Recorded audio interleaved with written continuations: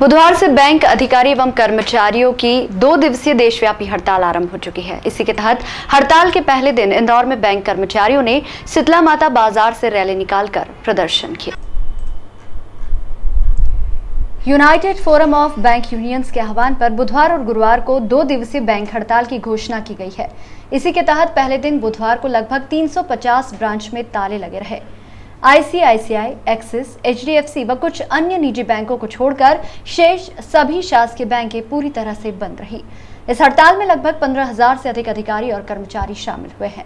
Bank कर्मचारियों के इस आंदोलन के दौरान बुधवार सुबह शीतला माता बाज़ार स्थित पंजाब नेशनल बैंक के सामने बैंक कर्मचारी अधिकारी एकत्रित हुए, जहाँ उन्होंने सरकार के खिलाफ जमकर प्रदर्शन किया।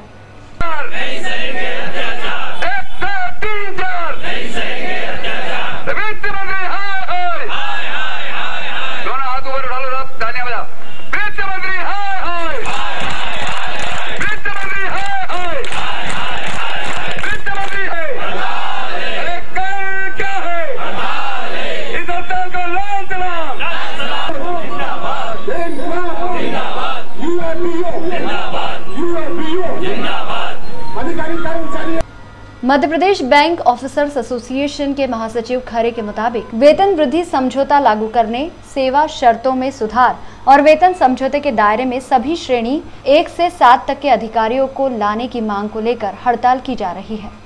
बैंक यूनियंस के आह्वान पर बैंकों में 30 और 31 मई की दो दिन की हड़ताल रखी गई है। बैंक कर्मचारी अधिकारियों का वेतन समझौता 1 नवंबर 2017 से ड्यू हो चुका है। 2 मई 2017 से इसकी बातचीत शुरू हुई। कई दौर की बातचीत के बाद भी इंडियन बैंक एसोसिएशन और सरकार की तरफ़ से पूरी उपेक्षा और भेदभाव का रुख अपनाया जा रहा है। बैंक कर्मचारियों को सिर्फ़ दो प्रतिशत वेतन वृद्धि का ऑफ़र दिया गया है, जो कि शर्मनाक और निंदनीय है।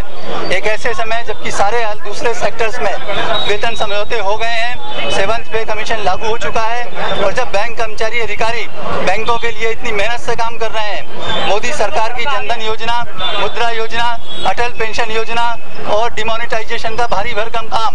ये सब बैंक कर्मचारी अधिकारियों ने बहुत मेहनत से पूरा किया है। ऐसे समय उनकी मांगों का सम्मान करने की बजाय उस पर विचार करने की बजाय सरकार उनके अधिकारों को छीनना चाहती है। शीतला माता बाज़ार शाखा पर प्रदर्शन और नारेबाजी के बाद यहाँ से सभी बैंक अधिकारी कर्मचारी एक बड़ी रैली के रूप में आगे बढ़े।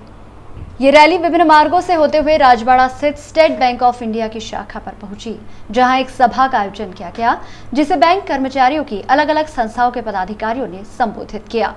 बैंक अधिकारी एवं कर्मचारियों की इस देशव्यापी हड़ताल में पूरे देश भर से करीब 10 लाख बैंक कर्मी शामिल है।